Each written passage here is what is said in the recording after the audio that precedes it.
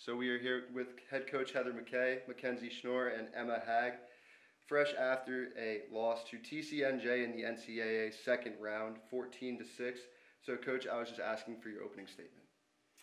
Um, just first, thank you for to TCNJ for hosting. You guys have been great, and um, yeah, it was, it was, a great experience, and just really thankful for um, the work you all have done. And um, yeah, it stinks to lose.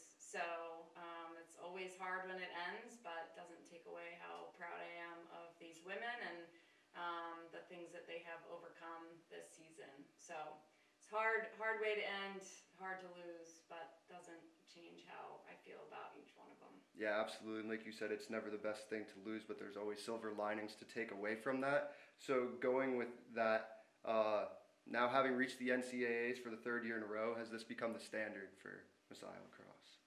I mean, we're always in the hunt to be better than we were the day before, and so it's um, the hunt of us reaching our potential and and um, really growing and learning. That's that's the standard that we're we're after, and um, there's just a lot more um, things to focus on. So um, I think it's about how we can, um, yeah, grow through each challenge, and then and uh, the results will hopefully come with that. So of course, it makes us hungry to be able to be back here again. yes, sure. absolutely. And Mackenzie, great game for you today. Two goals, one assist. So talk about the season overall and uh, just how it feels to be back at the NCAAs for the third year in a row. You know, you doing all three of those. Yeah, um, I think at the beginning of this year, we have a, a heavy freshman class and a heavy upperclassmen, uh, seniors. So I think it was really important for us to just make everyone feel valued on the team and on the field and just come together and play as one.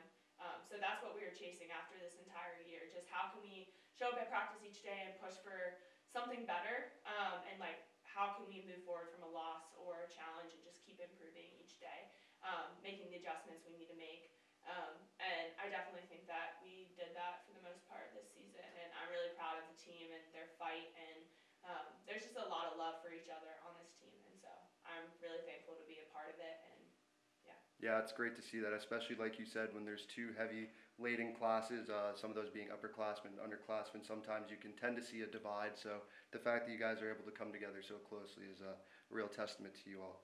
And Emma, also great game for you as well. Uh, just moving towards the future, talking about you know how uh, Mackenzie mentioned you know graduating some experience and bringing back a lot of experience as well. Uh, a lot of the freshmen getting a lot of playing time this year.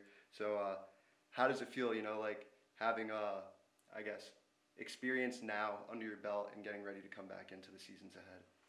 We are going to miss our seniors a lot, and there's going to be some really big shoes to fill, but we do have a young team, and I don't doubt that everyone can step up and fill in those roles. Um, it's definitely going to be a loss, and we're going to miss them dearly, but I know with the, with the young team that we have, we're always up for the challenge. Absolutely. Thank you guys so much, and great job today. Thank you.